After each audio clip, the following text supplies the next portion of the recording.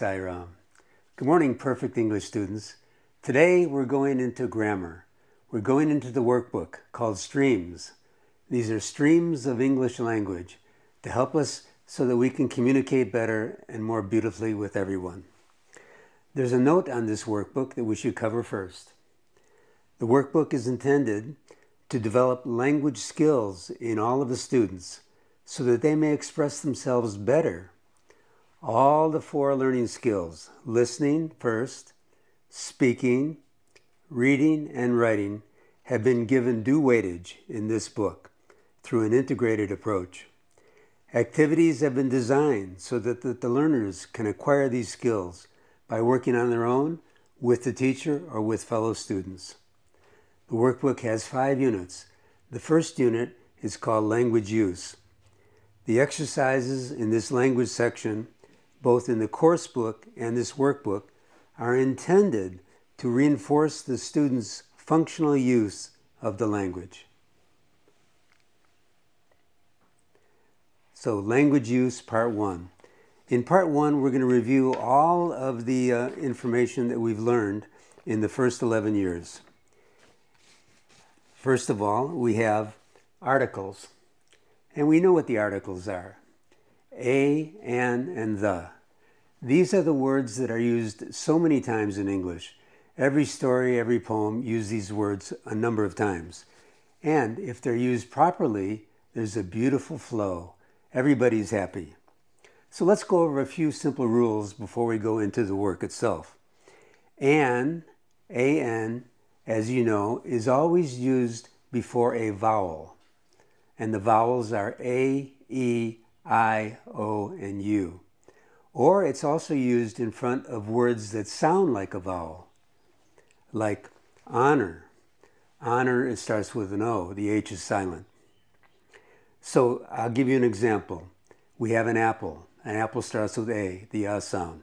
So we say an apple. Elephant has the E sound. An elephant. Then I has the ice cream sound, an ice cream. Not a ice cream, an ice cream. Then we have O for orange, an orange. And finally we have U like an umbrella, an umbrella. And then if we have an hour, hour starts with H, but the H is silent, so it has an O sound. So we go an hour. Uh, and um, honor, or another one is MLA, okay? M starts with an E sound. That's what we say, an MLA. So an is very simple to use. A, a little trickier, but there's some general rules that we can follow. And if you follow these rules, you'll be correct most of the time. And the rest of the time you can acquire from reading pose, uh, poetry, and prose. A is used in a general sense. If we say a cow, a horse, a building, we use a. It's not specific. Uh, in, you use a in front of a consonant. Uh, the tree, you, see, you say a tree, okay? Or when you are uh, regarding a subject for the first time, you always use a. The is a specific um, article, and we use that when there's a specific person that we're referring to, like the girl over there not a girl over there. We say the girl over there, the boy over there, the tree over there. When it's specific, we use the.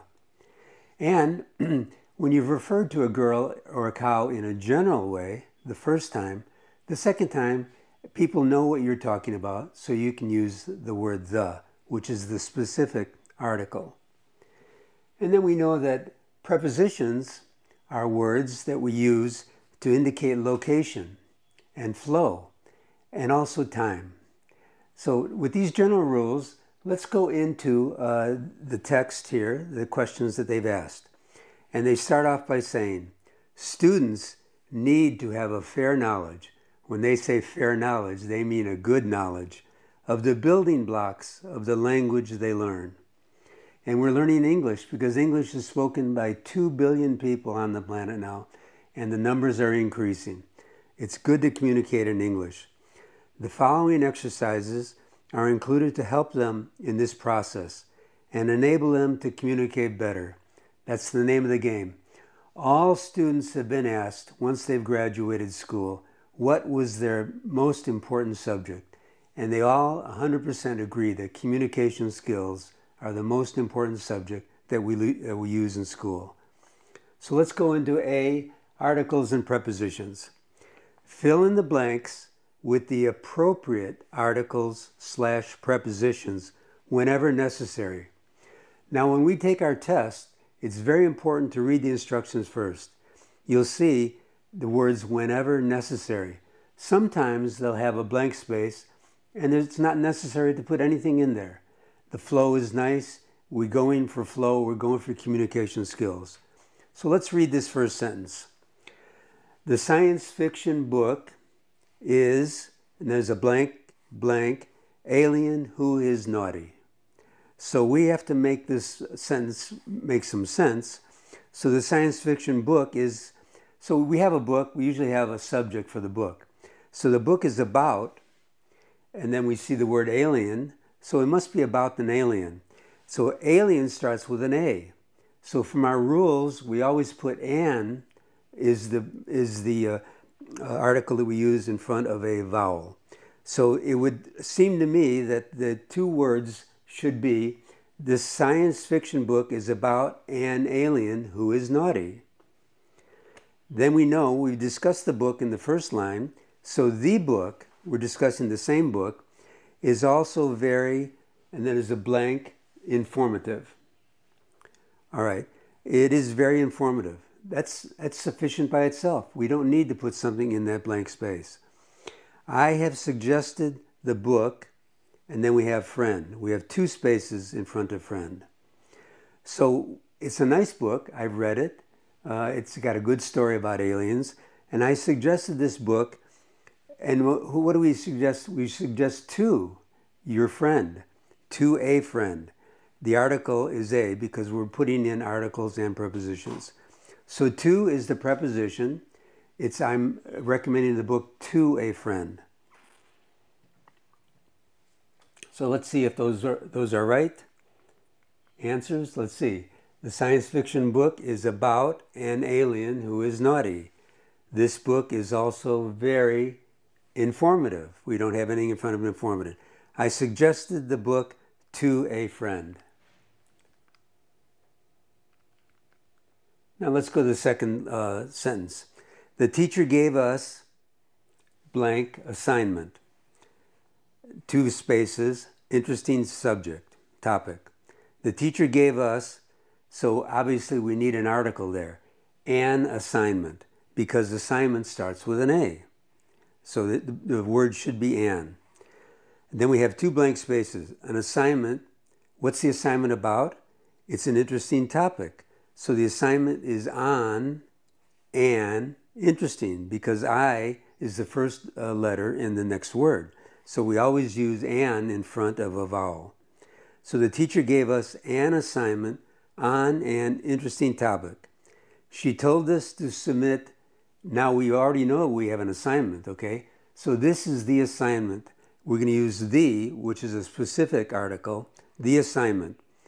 And then we have two spaces for Monday, on Monday. How many, how many uh, spaces do we need? We have one blank and one space in front of Monday. So the teacher gave us an assignment on an interesting topic. She told us to submit the assignment on Monday. Are these the right answers? Yes. The teacher gave us an assignment on an interesting subject, topic. She told us to submit the assignment on Monday. Let's go to the third sentence. The people were dissatisfied. Leaders' performance. So, what are they dissatisfied with? They're dissatisfied with something, okay? Uh, something has to do with the leader's performance. So they say the people were dissatisfied with a preposition the leaders, okay? We know which leaders we're talking about. We're not talking about any leaders. The leaders are specific. So the people were dissatisfied with the leader's performance. So they decided to boycott Boycott means to stand up and not go.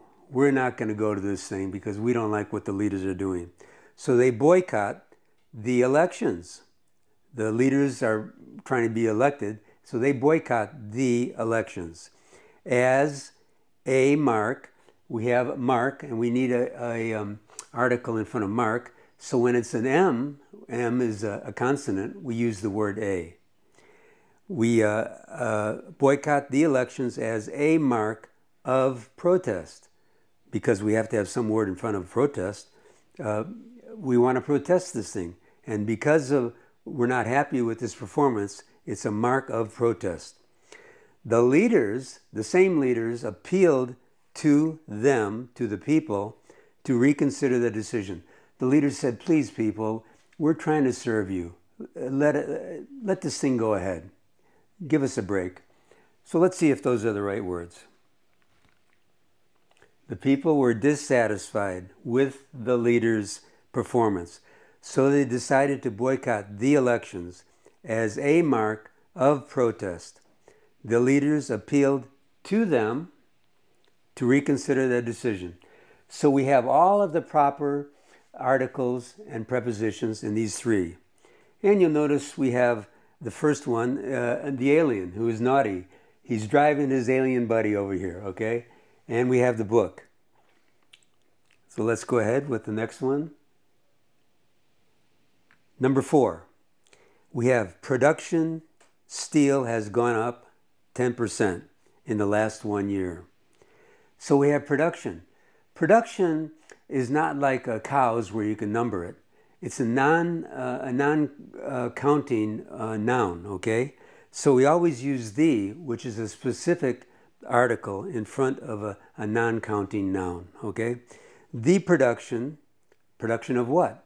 Production of steel has gone up. So it's gone up. Well, you have to have some word before, uh, before ten percent by ten percent in the last one year. 10% blank space, last one year. When did it go up? In the last year, it went up 10%. This may lead, lead where? Lead to. We're going to something. To is the preposition here. And then we have increase, and we use the rule in front of a vowel, A, E, I, or U, we use an, not a. So this may lead to an increase of about, we're not sure exactly what the increase is going to be, but the direction is about 20% in construction costs. What's the percentage of increase? It's in the construction costs. Where is it going to happen? That's where we have to use a preposition. It's going to happen in the country, the country we're living in. Okay. Let's see if this is right. The production of steel has gone up by 10% in the last one year.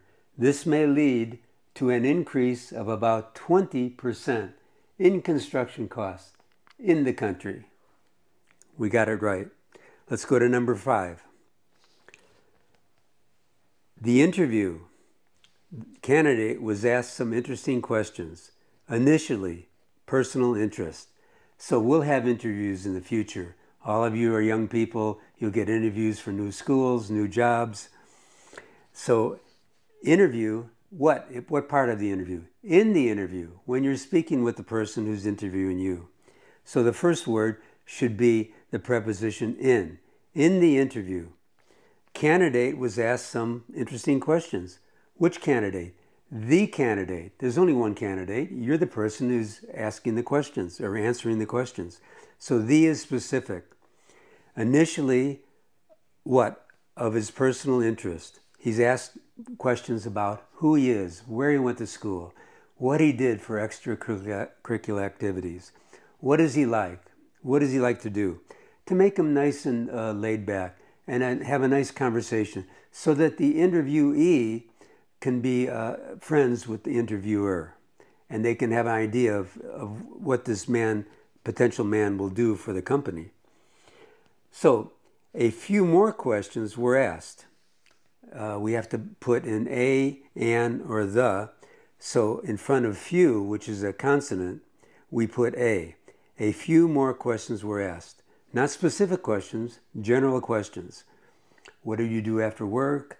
Uh, what extracurricular activities did you do in school?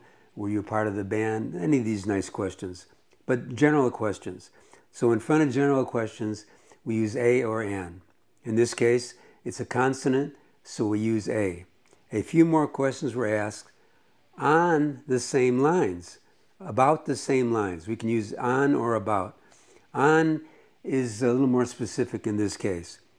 On the same lines, so that there would be no tension. No tension for who? For the candidate. So we use the word for. Let's see if we're right. In the interview, the candidate was asked some interesting questions, initially of his personal interest. A few more questions were asked on the same lines, so there would be no tension for the candidate. And you can see we have steel production here, and uh, the steel is a major component of any construction cost. So if the price of steel has gone up 10%, your construction costs may go up more than 20% but that's a good ballpark guess. Guess. Let's go on. Number six. This is a beautiful little story about two neighbors. One was a little girl who lived next to an older gentleman who lived next to, uh, in the house next door. Little Radha was, and then we have garden, filling in hole when her neighbor peered fence, interested what the cheeky faced youngster was doing. Here she is, she's got a shovel, and she's digging a hole, and she's putting something in the hole and filling it up. The neighbor has a fence there, so he's, he's, he's thinking, wait, what's this girl doing? You know, she's digging in the backyard. I don't see any trees or anything. What is she doing? So he has curiosity. So Radha was in her garden. Where was she? In the garden, filling in uh, a hole, okay?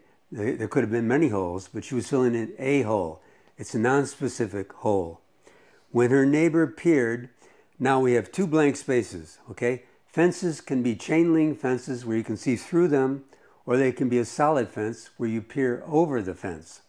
So in this case, we're using peered through the fence. Now we could put over the fence. Either one is acceptable. But the, we use the, the uh, definite um, article, the, in front of fence. So the neighbor peered through the fence, interested. What's he interested? Interested in what the cheeky faced youngster was doing. He's, uh, he's over by himself, but his neighbor's doing something a little unusual. He's interested in what she's doing. So let's see if those answers are right. Little Radha was in the garden filling in a hole when her neighbor peered through the fence, interested in what the cheeky faced youngster was doing. He politely, because he's inter- interfering in her space, he politely asked, What are you up to there, Radha?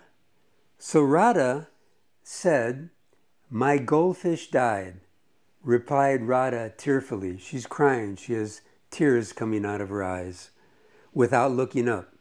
She didn't even look up at the neighbor because she knows something the neighbor does not know. And I've just buried him. So she buried the goldfish, okay? The goldfish was killed and uh, was dead, and she had to bury it in a nice way because she loved this goldfish. The neighbor was concerned. He's looking through the fence. He sees this great big hole and he's thinking, wow, a little goldfish, you know, look how small it is. I mean, uh, how, how big of a hole do you need for a little goldfish? And he said, that's awfully big hole goldfish, isn't it? So we have to fill in the blanks. Awfully starts with A, it's a vowel. So we use the article, that's an awfully big hole. Hole for what? We use the word for for goldfish. We have to use an article for the goldfish, so A is used in front of a, of a consonant, which is G. So that's an awfully big hole for a goldfish, isn't it? Radha patted down hit last heap uh, earth and then replied, That's because he's inside your cat. so Radha's patting down uh, the last speed. There's only one hole there, and she's patting down the earth. Okay, the earth is specific. The last heap of earth. And then replied, That's because he's inside your cat. She had to dig a bigger hole to put the cat in because the goldfish was inside the cat and she wanted to bury the goldfish nicely. Let's see if we're right. Ah, perfect. Radha was in the garden and then she uh, filled in the hole and the neighbor peered through the fence, interested in what she was doing, and uh, politely asked, What are you up to, Radha? My goldfish died without looking up, and I've just buried him. The neighbor was concerned. That's an awfully big hole for a goldfish, isn't it? Radha patted down the last heap of earth and replied, That's because he's inside your cat. So Radha did the right thing. She buried her goldfish nicely with due honors. And because it was in the cat, she had to bury the cat too.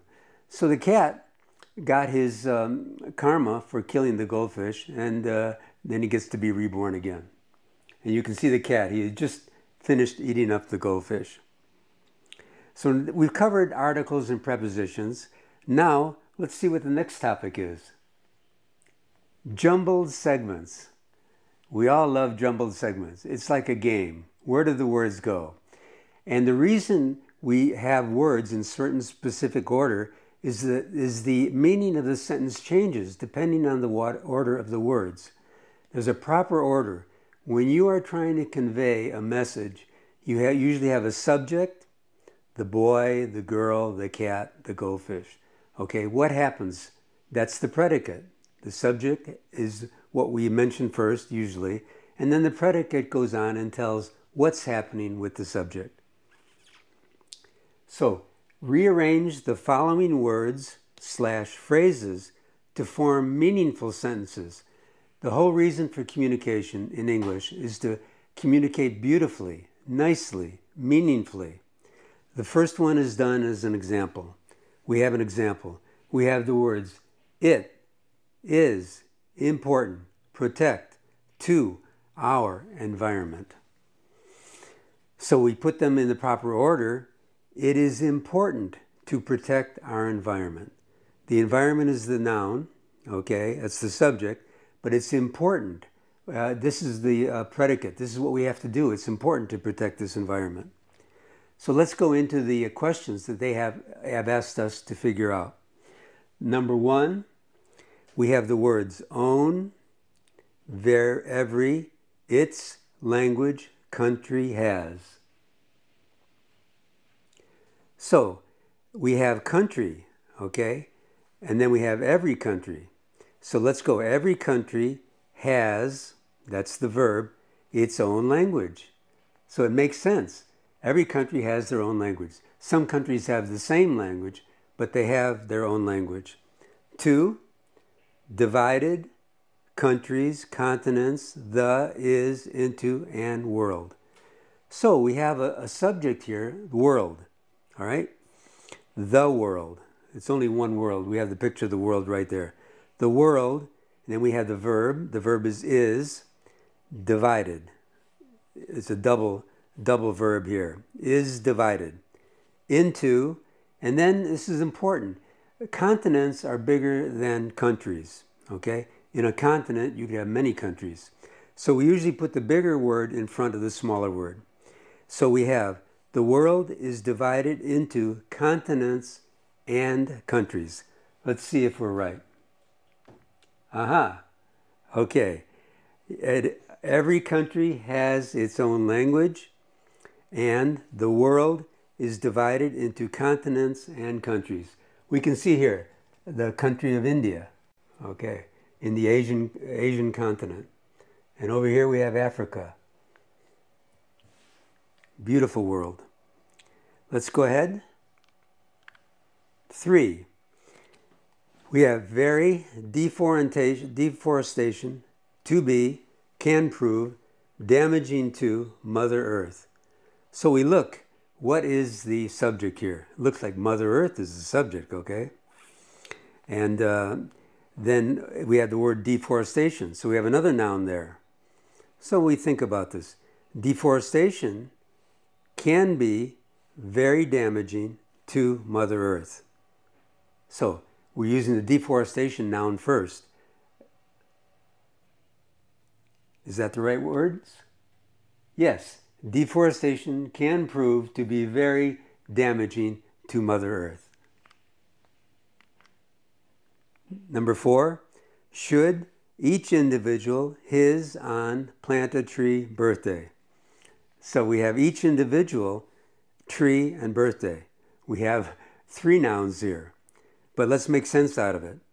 Each individual should or could, should plant a tree on his birthday. Makes perfect sense, okay? Let's see, is that correct? Yes, each individual should plant a tree on his birthday. And we can see here, this is a picture of deforestation. They've cut down all of the trees in this whole area. We have an aerial view, and all we have left is a bunch of lumber with just a few trees left. On the second picture, we have a beautiful tree that some child has planted on his birthday. You can see the beauty and the oxygen, and every, nature is happy. Let's go to the fifth one. To keep, we encourage, must, the green earth, afforestation. Okay, so on number three, we had deforestation, which is getting rid of the trees. Now we have afforestation, which is bringing more trees. So afforestation uh, is used for what? To keep the earth green, we must encourage afforestation. Let's see if that's right.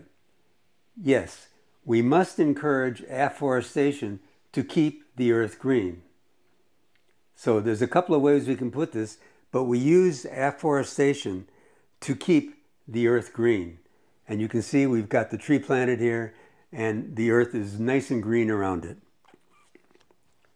Let's go to the next one. Number six, humility, a lot, simplicity, has, with, to do.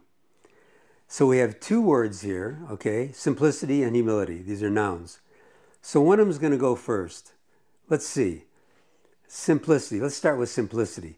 Simplicity has, that's our verb, a lot to do with humility.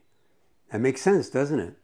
Or we could say humility has a lot to do with simplicity. Hmm, simplicity is a quality of humility. So let's use simplicity first. Let's see if that's right. Simplicity has a lot to do with humility. That's the correct answer. Number seven, used as a to highlight newspapers. A, R, powerful, weapon, social problems. Here we have many nouns, okay? But it seems to emphasize around newspapers, okay? So let's start with newspapers. Newspapers are, are what are they? A powerful weapon used to highlight social problems. Does that make sense? Let's see. Newspapers are used as a powerful weapon to highlight social problems. Correct. Let's go back to number eight. Sport and business world. In thee also, rife, is corruption of. Rife means it's absolutely widespread. It's everywhere, rife. So that's the verb. But what is the, what is the uh, uh, subject here? Corruption looks like a subject. Sports and business world could be a subject also.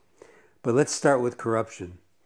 Corruption is also rife in the sports and business world. Or we can put corruption is rife in the sport and business world also. We could put also in either space.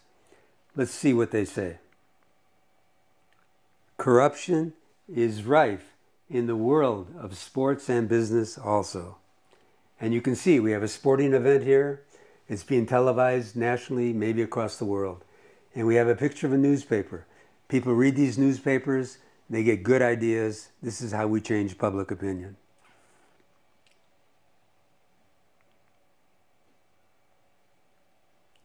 Then we have number nine rules, certain, regulations, and regulations must we follow. All right. So we have regulations and rules, and we. So let's start with we. All right. We is the subject. We must, must is the verb. We must follow certain rules and regulations. Okay, let's see. Is that correct? We must follow certain rules and regulations. Makes sense. Number 10, old people, helpful, kind, and, two, should be, one. Okay, so we have old people and we have one. One is usually a subject, okay? We're talking about one, or we're talking about old people. Let's start with one. One, the verb should be, okay? Kind should be kind. Hmm. To who? Kind and helpful that's a that's a two uh, two ideas about being kind. To who? To old people. Let's see if we're right. One should be kind and helpful to old people. And you can see this old gentleman, one of the students, okay, has gone up and given a nice snack or helped him across the road. And he is so happy that another human has been kind and helpful to him. This is the underlying reason that we're communicating these things to you, is so that we can uh, live our life in a more beautiful and kind way. What a happy fellow, huh? We've made his day, we've made our own day too. Let's go on. What's the next subject? Oh, here we go. We're going subject verb agreement. When we communicate, we want our words to smooth uh, to flow smoothly, okay? We want to have good communication between our subjects and our verbs. They should flow like poetry.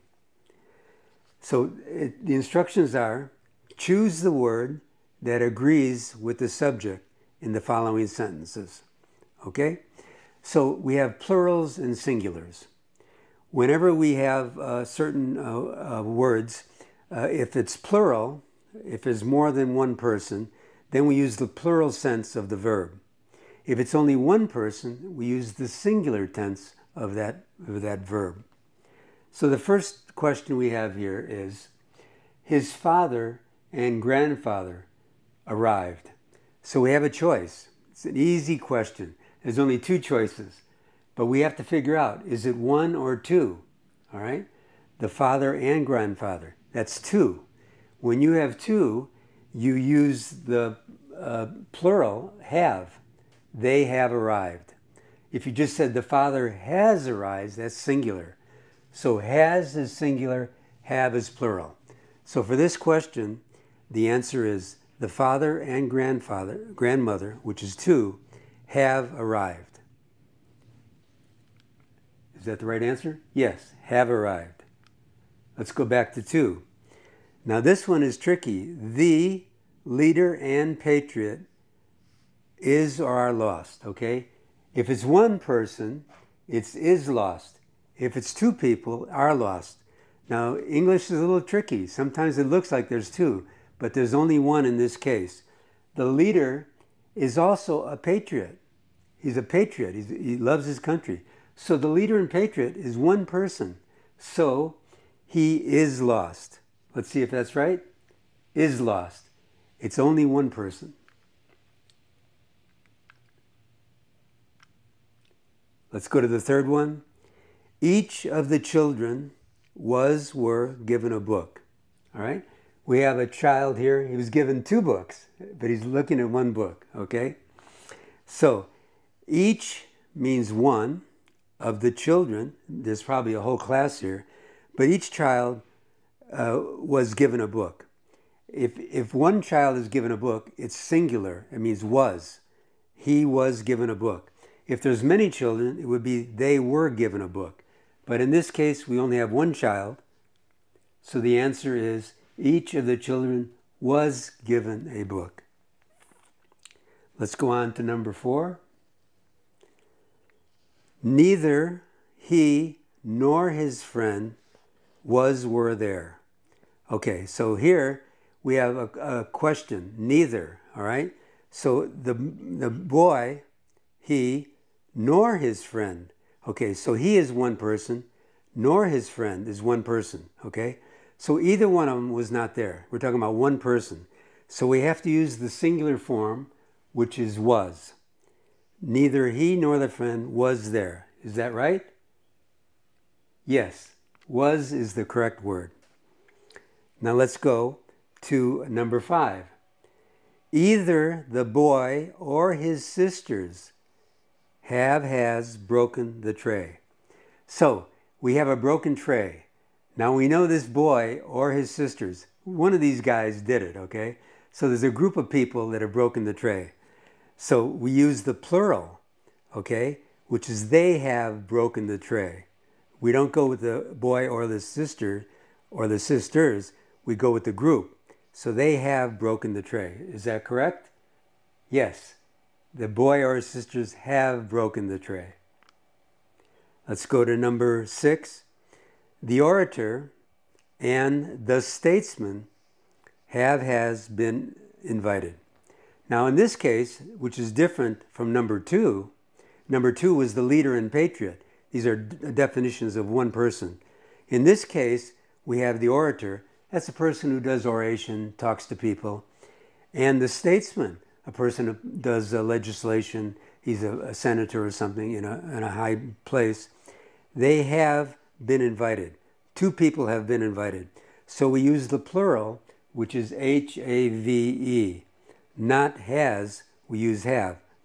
Let's see if that's right. Exactly, have been invited.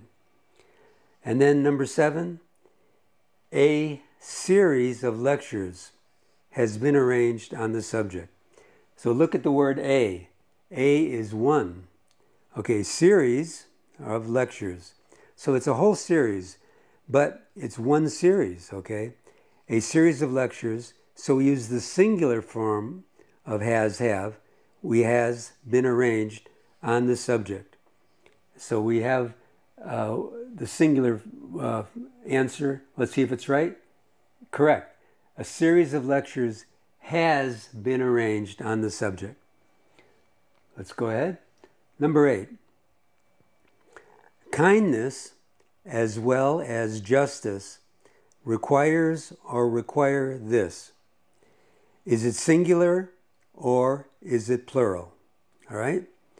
Kindness, okay, is one thing, as well as justice. So we have two things. There's, they're talking about kindness and justice requires this. So to have kindness and justice, we have two. It requires with an S. Let's see if that's right. Requires, correct. There's two. Number nine, a number of accidents was were reported in the newspaper. A number, this is the trick. This is the subject. It's A. A what? A number of accidents, okay? But it's only one. So that's singular. So we use the singular form, which is um, a accident was reported, okay? A number of accidents was reported. Are we correct? Yes, was reported. And then let's go to the last one. The number of dropouts w- were or was quite large. Now we look here, it's tricky, okay? The English is a tricky language sometimes, but we have to use the rules to make it sound like we know what we're talking about. The is singular. The number of dropouts, the number was quite large. Okay, we don't have to worry about number of dropouts. That's uh, we have to use the singular form because we're using the is the subject. The number of dropouts was quite large. Is that correct? Yes, the number of dropouts was quite large. And then we can see in our pictures kindness in action, okay? The two young children are offering to the soldier who's in their country something beautiful. And the soldier with kindness is taking it from the children and smiling at them. And this poor little dog is in a kennel. We don't know what kind of kennel it is. He may have been picked up somewhere. But there's a lady just rubbing his, his chin, offering kindness. It's always in order. And that's the communication we're trying to convey is kindness and consideration. Then we jump into our final topic for this morning is tenses. We're going to sound like we know how to communicate and we're going to communicate in the right tense. What are the tenses? There's past, things have happened in the past. Things are happening right now. We're having a beautiful class about English right now. And things will happen in the future. But we want our words to match the tense that we're trying to uh, explain to the people we're talking to or we're writing about. So in this uh, particular uh, section, we have to fill in the blanks with the appropriate form of the verbs given in the brackets. So they give you the verb, we just have to use the appropriate form. Past, present, future. We have to use the right form. So let's look at the first story. One day, a wolf be drinking at the stream. Okay, so we're talking about the past. It's already happened. So one day, the wolf was drinking. He, he was drinking at the stream. Okay?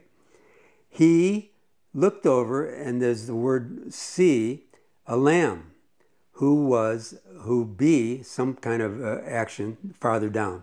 He looks down the stream, he sees a lamb. He's a hungry wolf. Hmm, looks like lunch, you know? So he, uh, he saw, he, he already saw the lamb, okay? And the, and the lamb, where, where was he? He was further down the stream. So the word is, he saw the lamb who was further down. The wolf made up his mind. Oh, I'm hungry. I need this nice lamb. You can see he's licking his chops over here and he sees the lamb over there. He made up his mind. I'm going to gobble up this lamb. But he's, he's a crafty uh, he's a crafty wolf. He's thinking, okay, that he would find some excuse for doing so. He doesn't want to just start running because the lamb will start running away, and lamb could be pretty quick and run into a flock or something. So he wants to come up close to the lamb and make some conversation and then, then eat the lamb. So he thought, he has this thought in his head that he would find, will find, he would find some excuse for doing so. He ran, the story is in past tense, okay? He ran up to the lamb and he said, How dare you muddy the water that I, I'm drinking? I was drinking the water and I am drinking this water, and you're muddying the water. So the lamb says, lamb looks at the wolf and knows this wolf is up to something a little bit crazy. And she replied, ready to run, she goes, I don't see how that can be. We have the words do not see. So we can use the hyphenated version, I don't see, or you could say I do not see. Either are correct. How that can be. And then he's looking, what do you mean? Since the water of the stream is running, the water is continually running, okay? It was running before when he first saw her, it's running now, it'll run in the future. Is running from you to me, not from me to you. So the uh, wolf was up here, okay, and the water's running this way. But the wolf said, You're muddying my water that I'm drinking. But the, the mud can't go this way up the stream. So the lamb is on notice, okay? And she starts running. She's not going to talk to this wolf anymore. Otherwise, the wolf is going to jump on top of her. So let's see if we're correct in our analysis. One day, the wolf was drinking at the stream. He saw a lamb who was farther down. The wolf made up his mind to eat the lamb, but he thought that he would find some excuse for doing so. He ran up to the lamb and said, How dare you muddy the water that I am drinking? I'm drinking it right now. The lamb replied, I do not see, I don't see how that can be, since the water of the stream is running from you to me and not from me to you. And then the lamb runs away. Let's go to the second uh, story, the second tense story here. It was a curious trunk. When the lock was pressed,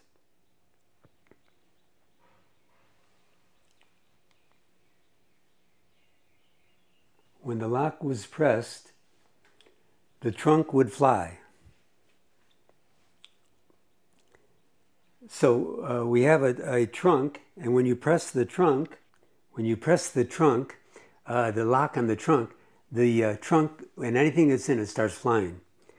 So the merchant's son, who has this magic trunk, okay, he crouched. He crouched down inside, inside the trunk, okay, and he pressed, he pressed the lock. And then the trunk flew up. Where did it fly up? It flew up through the chimney into the clouds. After a while, the lower part cracked. This trunk, uh, it was a, a nice storage trunk, but he's a heavy boy. And he's flying with his trunk. And all of a sudden, the bottom starts to crack, which frightened the boy. The boy is way up in the air and he's frightened. So we use the word frightened. It's a past tense. For if it had broken, the trunk did not break, but it was in the process of breaking. If it had broken uh, in two, he would have had a nasty fall. We have three words here will, have, and have. So if the trunk did break, he would have had a nasty fall.